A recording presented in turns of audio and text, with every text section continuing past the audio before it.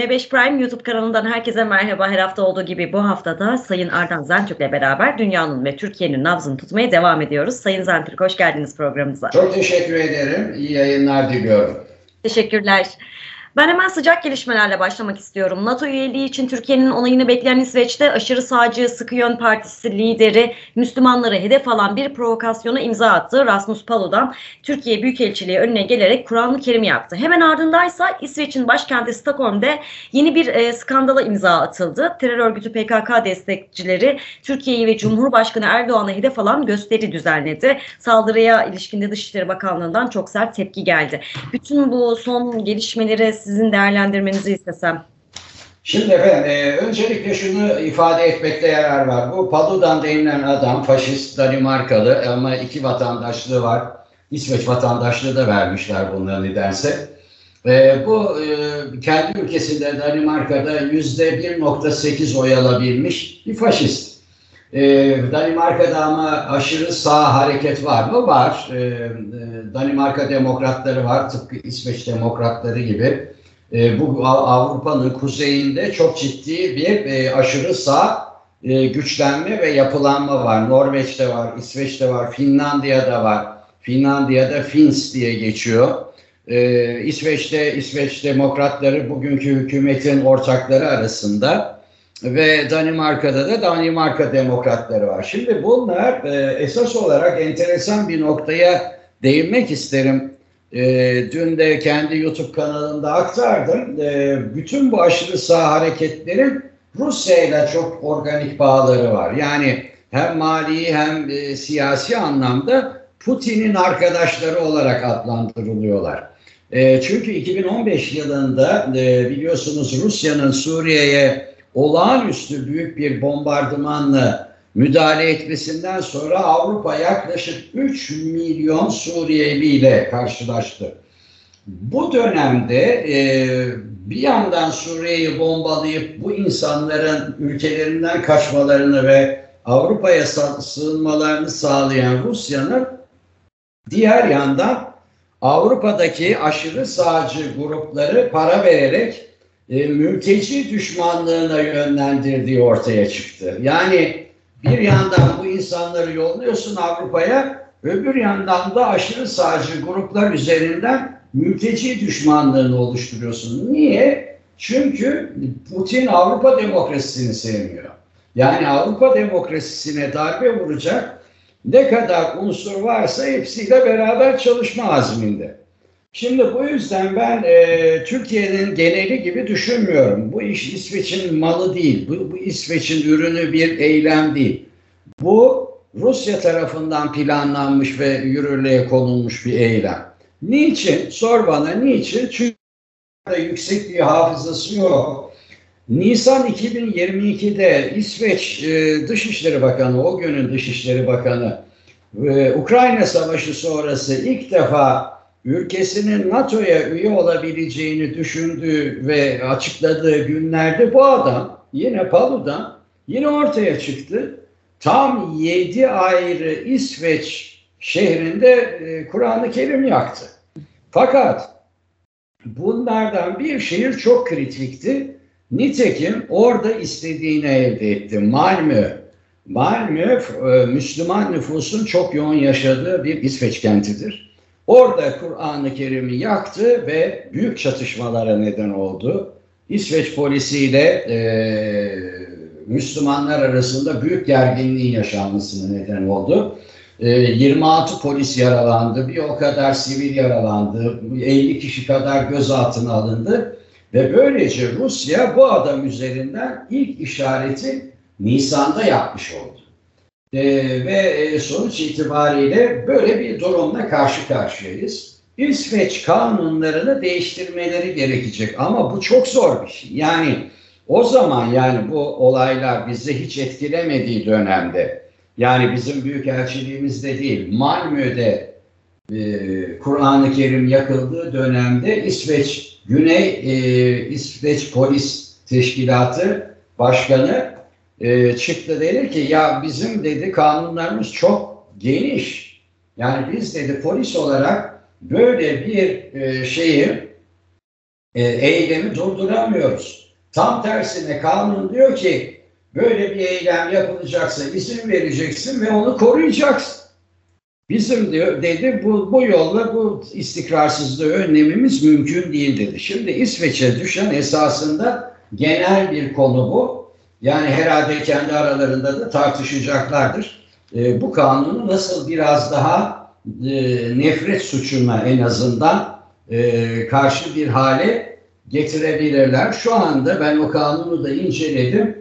İsveç'in böyle bir kanun çerçevesinde bu tür eylemleri durdurma gibi bir şansı yok. Yani bunu da kabul etmek lazım. E, benim e, tavsiyem Türk hükümetine ve hepimize e, Hakan Fidan, Milli İstihbarat Teşkilatı Başkanı Hakan Fidan'ın e, İsveçli muhatabıyla bir e, görüşme yapmasıdır. Yani büyük bir olasılıkla İsveç e, istihbaratı kısa adıyla SAPO e, bu tür olayların perde arkasını çok iyi bilen, çok iyi takip eden güçlü bir istihbarat e, servisidir. Onlardan gelen bilgiler doğrultusunda İsveç'le ilişkileri e, düzenlemenin daha faydalı olacağına inanıyorum. Öte yandan Finlandiya Başbakanı Sanna Marin'den Türkiye ve NATO mesajı da geldi. Marin ülkesinin NATO üyeliğinin Türkiye tarafından en kısa sürede onaylanmasını ümit ettiğini söyledi. Umarım Türkiye ve Macaristan başvurumuzu en kısa sürede onaylar dedi. E bir de bu tarafı da değerlendirelim. Sizce onaylanması... Esasında, e, esasında orada söylenmeye çalışılan hani Türkiye ve Macaristan İsveç'te bizi. Çünkü e, Finlandiya'nın bu konudaki e, kesin kararı şu e, yani İsveç'le beraber gireceğim. E, o yüzden e, önceki pazar günü yani tam 7 gün önce e, Dışişleri Bakanı çıktı dedi ki Finlandiya'nın e, bizim acelemiz yok yani biz e, İsveç'e verilecek yeşil ışığı bekliyoruz. Onlarla beraber gireceğiz. Yani onların beklentisi Türkiye ve Macaristan'ın esas olarak İsveç'e yeşil ışık vermesi. Çünkü biz zaten NATO'ya daha önce duyurduk yani bu Finlandiya'yı ayırın hemen onaylayalım diye bilgi de verdik NATO'ya Türkiye olarak ama onlar böyle bir şey yapmıyorlar ve e, İsveçlilerle Finlandiyalılar da böyle bir ayrı ayrılık istemiyorlar. Gireceksek beraber girelim derdindeler. E, ya bu ancak seçimlerden sonra düzelebilecek bir durum. Yani bizim seçimlerden sonra. NATO Genel Sekreterinden Rusya uyarısı geldi bir de. NATO NATO komutanları Brüksel'de bir araya geldi. İttifakın Genel Sekreter Yardımcısı Rusya Devlet Başkanı Vladimir Putin için uzun bir savaşa hazırlanıyor uyarısı yaptı. Hem son durumu hem de bu uyarıyı değerlendirmek istiyorum ben sizinle. NATO Genel Sekreteri Rusya'yı hafife almak tehlikeli olur da dedi. Ee, sizce öyle mi? Rusya uzun bir savaşa mı hazırlanıyor? Rusya kesinlikle uzun ve e, sonuç alıcı bir savaşa hazırlanıyor. Valeri Gerasimov'un e, doğrudan doğruya işgal birlikleri başkomutanlığına getirilmesi ve e, Rusya'nın özellikle Zaporijya, Herson e, ve Kırım hattında e, gerçekleştirdiği son ataklar e, Bahmut'a nice saldırıyorlar bilmiyorum ama Donbas'ta yeni bir e, güç birikimi e, oluşturması bu arada Belarus'ta e, bir başka güç birikimini oluşturup her an kuzeyden gelebilecekleri izlenimi vermeleri. Yani e, Şubat veya Mart en geç aylarında Rusya'nın yeni büyük bir taarruzla Ukrayna'da e, yeni hedeflere yöneleceğini gösteren işaretler. E, bu nedenle e, Batı tarafında da e, birkaç tane önlem var askeri anlamda. Öncelikle e, Fransa ile Fransız mevkidaşlarıyla görüştü Olaf Scholz ve Dışişleri Bakanı Alman Barbeck. E, nihayet açıkladılar. Polonya istediği zaman Leopard 2 tanklarını Ukrayna'ya verebilir dedi. Bu önemli bir adam, adım çünkü e, e Leopard 2'ler sadece Alman ordusunda yok Avrupa'da. Avrupa'nın depolarında 2000 adet Leopard tankı var. Leopard 2 tankı var. Polonya'da var, Baltık ülkelerinde var, İspanya'da bile var. Bugüne kadar Almanya'nın bu tanklar üzerindeki e, egemenliğini kullanıp kullanmayacağı tartışılıyordu. Hani kendi verir vermez o ayrı bir mevzu. Fakat Polonya'yı da durdurmuştu. bu serbestiyetin çıkması e, birçok e, Leopard 2'lere sahip ülkenin bir anda e, Ukrayna'ya e, Leopard 2'leri göndermesi anlamına geliyor. Zaten eğitimleri Polonya'da devam ediyor Ukrayna askerlerinin. Ve askeri uzmanlara göre de 350-400 civarında Leopard 2'nin Ukrayna topraklarına intikal etmesi halinde Ukrayna bu savaşı kazanacak. Yani e, tamamen süpürecek yani. Ve tabii bunun gerçekleşme ihtimali yükseldikçe de biliyorsunuz e, belki soracaktınız ben şimdiden gireyim o lafa. Önce Dimitri Medvedev devamında da Rusya Parlamentosu Başkanı Volodin e, tüm dünyayı açıklıkla nükleer silahlarla ve savaşla e, tehdit ettiler. Niye? Demek Dimitri Medvedev ne diyor? E, bütün diyor dünya bilmeli ki bir nükleer güç konvansiyonel savaşta yenilmeyi kabul etmeyecektir. Böyle bir durum ortaya çıkması halinde savaş kendiliğinden nükleer bir kimlik kazanacaktır diyor. Yani diyor ki siz bu tankları, tüfekleri, füzeleri, roketleri e, Ukrayna'ya veriyorsunuz ama e, orada verdiklerinizin e, karşılığında biz yenilirsek biz sizin başkentlerinize roket atacağız. Bunu diyor yani. Şimdi bunu ne kadar samimiler değiller ben e, bunu tartışamam. E, aklı başında olan hiç kimse bunu tartışamaz sadece önlem alır. Yani e, bugün gördüğümüz kadarıyla Rusya e, bu savaşı kaybetmemekte kararlı bir portre çiziyor. E, bir buçuk milyona çıkartıyor e, savaş gücünü. Bu e, hem yeni bir askeri alım kampanyası demek. Belki de yakın bir gelecekte yeniden bir seferberlik ilanı demek. Rus toplumunda e, çatlak seslerin tamamı boğuldu. Yani Rus halkının şu anda Ukrayna Savaşı ile ilgili ne düşündüğünü bile bilebilecek bir durumumuz yok. Onu da konuşalım. E, bu çerçevede baktığınız zaman Batı haklıdır, NATO haklıdır. Rusya büyük bir bela açmaya hazırlanıyor. Büyük bela ama. Öyle böyle değil. 2023'ün e, önümüzdeki 3 ay içinde bunu göreceğiz zaten. Yunanistan'la devam etmek istiyorum. Davos'ta konuşan Yunan Başbakanı Mitsotakis gerginliklere rağmen Türkiye ile savaşa gitmeyeceğiz diyerek Cumhurbaşkanı Erdoğan'la anlaşmazlıkların halledilmesinin mümkün olduğunu belirtti. Mitsotakis iki ülkedeki seçimler sonrası gerginliğin giderilmesinin yollarının bulunabileceğini kaydetti. Bunu da sormak istiyorum. Yani aslında düne kadar daha sert ithamlarda bulunan Yunanistan'ın şimdi biraz böyle e, daha orta bulucu, ara bulucu konuşması e, neden? Neden seçimler Onda bu cümle. Ee, şu anda bütün rakiplerimiz Ermenistan'ından Yunanistan'a, İsrail'inden Mısır'ına hepsi 2023 seçimi çerçevesinde e, Cumhurbaşkanı Recep Tayyip Erdoğan'a kullanabilecekleri, kullanabileceği e, argümanlar yani kavramlar vermek istemiyorlar. Yani e, Cumhurbaşkanı'nın milliyetçi muhafazakar kanattaki oy konsolidasyonunu yükseltecek tartışmalardan bütün rakiplerimiz yani İsrail'de dahil herkes kaçıyor. 2023'e kadar Türkiye ile herhangi bir gücün e, kriz e, arayacağını sanmıyorum. Buna Amerika Birleşik Devletleri de dahil. Nitekim Mevlüt Çavuşoğlu gitti Amerika'ya. E, işte Türk-Amerikan Stratejik e, Mekanizması ikinci bakanlar toplantısını gerçekleştirdi Anthony Blinken'la esasen e, elle tutulur çok net bir sonuç yok toplantıda ama kriz de yok. Yani e, kimse Erdoğan'la e, yani dışarıdaki güçler yani Amerika, Yunanistan, Avrupa Birliği, İsrail, ne bileyim ben e, daha küçükler e, bunların hiçbiri e, Erdoğan'la çatışır bir görüntü vermek istemiyorlar.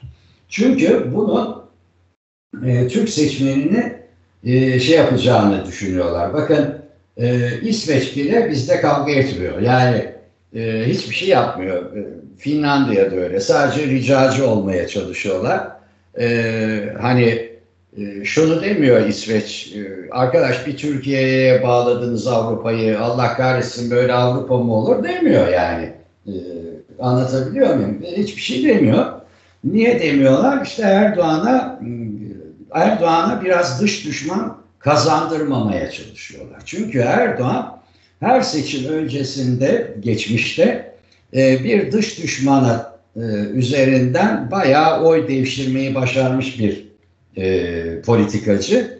Benim gördüğüm, yıl, aylardır da söylüyorum, hiç boş yere şey yapmayın diye. Benim gördüğüm kimse bu imkanı ona vermeyecek. Yani Erdoğan'a vermeyecek.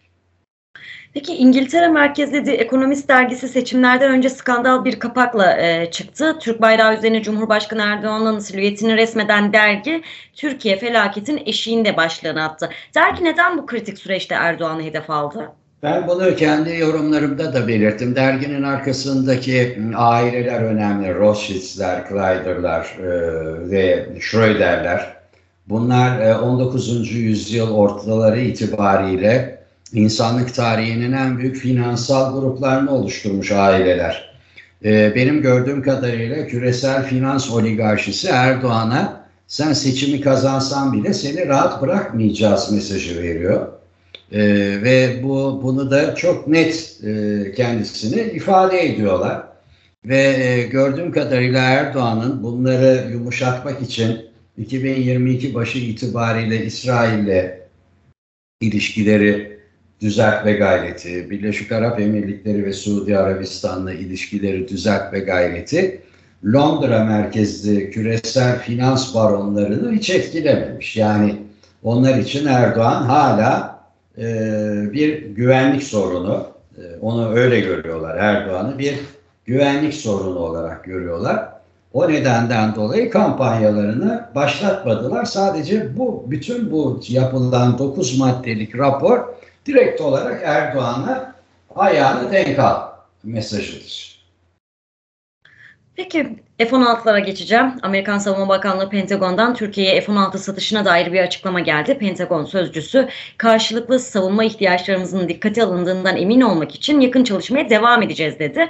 Sözcü ayrıca jetlerin Ankara'ya satılması konusunda son sözün kongrede olduğunu da hatırlattı. Biraz da bu F-16 mevzusunu konuşabilir miyiz? F-16 konusunda konuşacak çok fazla bir şey yok.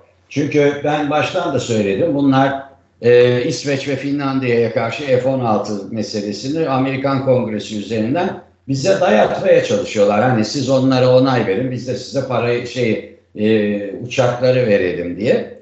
Fakat e, bu bir politika değil. Türkiye'nin kabul edeceği bir politika değil. Bu e, elma ile armutu toplamak gibi bir şey. Bir anda biz arkadaş bunlar bizim teröristlerle e, içli dışlı teröristle e, mücadelemize da, e, darbe vuran kimlikleri var diyoruz. Öbür yanda da diyorlar ki F-16 alacaksan sen onları onayla. Bunu Çavuşoğlu Washington'daki açıklamasında da ifade etti. Yani biz dedi bu bu denklemi kabul etmiyoruz dedi. Fakat benim gördüğüm kadarıyla zaten o denklem kurulmuş. Ee, Türkiye'yi hava kuvvetlerinde e, güçsüz kılma yönünde bayağı bir çabaları var ve daha önce de ifade ettiğim gibi Yunanistan ve İsrail ikilisini bu bölgede hava gücü ve donanmada süperiyor. Yani en üstün e, kılmak gibi bir yaklaşımları var. E, kendilerine teşekkür ediyoruz. Yani gerçekten e, Amerikalılar bu politikalarıyla hani e, Balca şöyle ünlü bir sözümüz vardır. E, kötü komşu insanı ev sahibi yapar diye. Yani e, Allah razı olsun kendilerine şükran borçluyuz. Bizi uyadı, uyuduğumuz uykulardan uyandırdılar. Yıllar önce uyandırdılar, bugün değil. Ve bugün de uyandırmaya devam ediyorlar. Onlar sayesinde işte atak helikopterlerimizi yaptık. Kızıl elmalarımızı yaptık, akıncılarımızı yaptık, ankalarımızı, bayraktarlarımızı yaptık. Şimdi milli muharip uçağımız TFX'i yapıyoruz. Aynı zamanda yine onlar sayesinde e, F-16'larımızın 30 blok, 40 blok, 50 blok diye adlandırılan 80'li yıllarda üretilmiş e, unsurlarını çok şükür e, 70 blok düzeyine çevirecek milli ve yerli bir program olan özgür re, renovasyon e, politikasını yürütüyoruz. E, özellikle AESA radarını Aselsan üretti. Önce Akıncı'ya takılıyor. Fakat e, sonra bütün F-16'larımıza takılacak. Onların takılmasıyla beraber 30 blok, 30 blok yani en eski neredeyse dijitalden hiç nasibini almamış F-16'larımız 70 blok yani 4,5. jenerasyon savaş uçağı haline gelecek. Bunların hepsi bize yapılan ambargoların sonucudur. Bize eğer yumuşak davransalardı biz tembel bir milletiz. Ee, o nasıl geliyor oradan mallar biz de burada rahatımıza bakalım der. Bunların hiçbirini yapmazdık. Açık konuşalım. Herkes kendi malını bilmek zorunda. Ama çok teşekkür ediyoruz. Ee, bunları başarttılar. Artık bundan sonra bizi durduramazlar. Yani e, tren yola çıkmış bir defa. Hani bu trenin ray değiştirdiler. Olmaz öyle bir şey. Yani e, Türkiye bu birikimiyle e, bu milli ve yerli savunma sanayi birikimiyle devam edecektir ve yeni yeni şeyler üretecektir. Dün, dün ben Selçuk Bayraktar'a, o, o beni takip ediyor, ben de onu takip ediyorum. Karşılıklı takipleştiğim bir dostumuz. Bir tweet attım, dedim ki işimiz var Selçuk diye. Niye? Amerikalılar e, Kızıl Elma benzeri ama daha küçük e, bir e, SİHA'yı yani drone'u e, dış manevra e, ekipmanlarından e, soymuşlar. Yani dümdüz bir füze haline almış. Bu tabii radarda gözükmesini engelleyen bir şey. Yani çok çok görünmez hale getirmişler. Hadi bakalım dedim genç mühendislerimiz bunu da yapar. Yani Türkiye artık onu da yapar. O yüzden e, eminim ben e, Amerika Birleşik Devletleri'nin bize ambargo uygulamasını sonuna kadar destekliyorum. Çok. Yani e, ve bunu da açıklıkla ifade ediyorum. Onlar devam etsinler. Çok çok memnunum. Yani şu F-16'da da memnunum. Yani o kadar memnunum ki bu kadar memnun olabilirim. Çünkü sonuçta bize F-16 benzeri bir uçak ürettiriyorlar. Gerçekten öyle. Yani bizler tarih boyu savaşmayı bildiğimiz gibi aslında barışın tadını ve değerini bilen bir nesiliz. Bu yüzden aslında topraklarımızda ve komşularımızın da toprakları Azerbaycan gibi komşularımızın da topraklarında barışın daimi olması için hem evet. askeri zeka olsun hem de milli mücadele anında fiziki güç olsun yapamayacağımız, gidemeyeceğimiz yok. sınırlar yok. O yüzden evet bizi de bir şeyin ittirmesi gerekiyor. Ağır kanlı bir milleti. Evet Zaten... evet evet çok çok ağır kanlıyız. Mesela 1950 ile 1978 arası e, sizler bilmezsiniz işte e, NATO'ya girdik.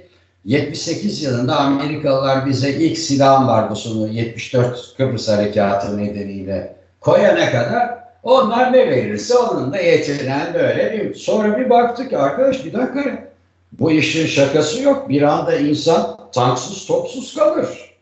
Onun üzerine bugünkü yerli ve milli savunma sanayi o günlerin posterlerine bakın. Vatandaş kendi uçağını kendin yap, kendi gemini kendin yap kampanya. Bak tüylerim diken diken oluyor. Biz daha üniversitedeydik o zaman Balca. Ondan sonra e, müthiş posterler millet ayağa kalktı. O günden sonra biz millet olarak tam 78 işte 2028'e 50 yıl oluyor neredeyse. 50 yıldır bu mücadeleyi veriyoruz ve o Amerikalılara çok teşekkür borcumuz var. Bu neden? Erdem Bey benim gündeme dair derlediğim sorular bitti ama sizin haricinde eklemek benim unuttuğum, değinmediğim yer varsa ben çok mutlu olurum. Yani esasında e, çok güzel sorulardı. Çok teşekkür ediyorum. E, ve gerçekten e, bu çerçevede devam edebiliriz. Sadece ve sadece Türk kamuoyunun gündeminde durması için bir cümleyle hatırlatmak istiyorum. Ee, İsrail'de kurulmuş olan aşırı sağcı yönetim Orta Doğu'da giderek çok ağır bir e, güvenlik sorunu oluşturmaya başladı. Bunun sonucunda ne olur ne biter e, tam olarak şu anda konuşmak erken. Fakat e, Filistin'de patlak verecek büyük bir savaşın Savaşın diyorum yani çatışmanın değil, savaşın.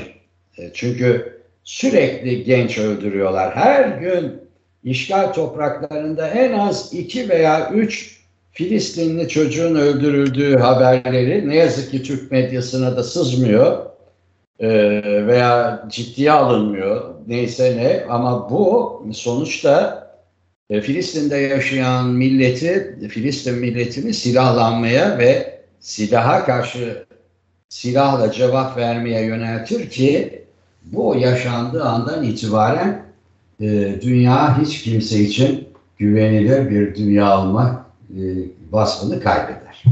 Onu da ifade edeyim. Teşekkür ediyorum. Ben çok teşekkür ederim değerli vaktinizi ayırdığınız değerli görüşleriniz için. Estağfurullah. Efendim programımızın sonuna geldik. Bizler haftaya M5 YouTube kanalında Sayın Ardan, Ardan Zentürk'le birlikte gündemin nabzını tutmaya devam edeceğiz. Sizleri de bekleriz. Hoşçakalın.